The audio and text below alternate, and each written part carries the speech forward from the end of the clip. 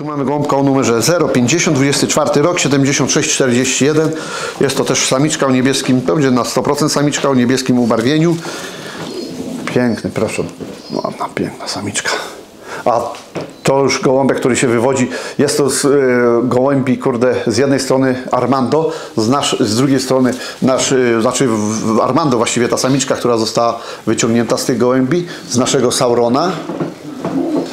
Jest to jedna, jedna również z lepszych lotniczek u nas na gołębniku, a mianowicie to jest gołąbek, który y, w tym roku, no w tym i w zeszłym, bo to gołąbek jest z 20 roku, tak jak tutaj na, na tym, jest to trzeci lotnik okręgu w kategorii B, y, kategoria A, y, wystawa do drużyny, wystawa do konkursu redakcji w kategorii średni dystans, no a tutaj jej wyniki, no to są naprawdę super, super, na, jak na naszych warunkach, na nasze gołębniki to rewelacja, u mnie bynajmniej, moim zdaniem.